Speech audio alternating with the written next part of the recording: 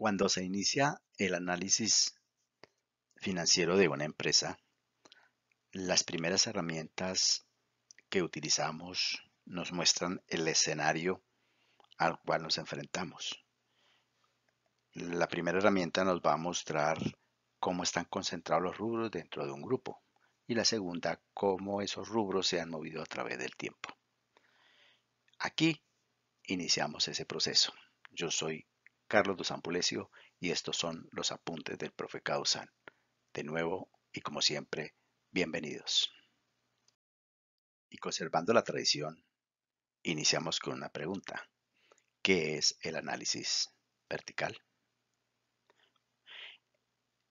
Esta es una herramienta que se aplica al estado de situación financiera y al estado de resultados.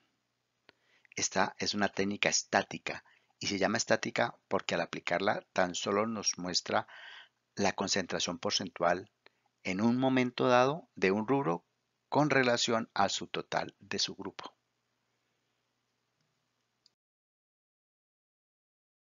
Para entender mejor este concepto, vamos a armar nuestra hoja de trabajo. En ella vamos a colocarle el activo corriente de cualquier estado o situación financiera y sus respectivos valores. Ahora tomemos un rubro. Empecemos por la caja.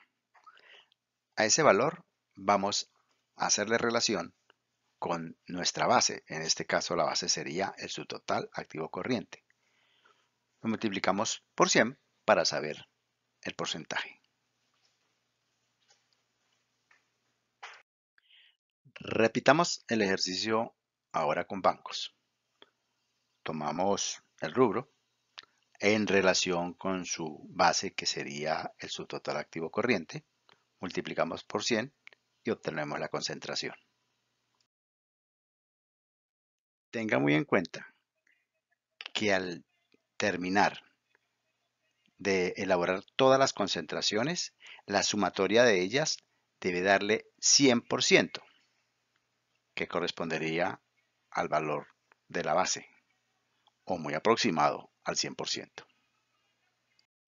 Finalmente, el análisis implica la simple lectura de ese valor porcentual que ha arrojado la fórmula matemática pero inmediatamente después hay que hacer un primer diagnóstico y ahí sí hay que tener en cuenta dos posiciones, la tipología de la empresa, cuál es el objeto social de la empresa y en dónde se encuentra, y las reglas de la administración del activo.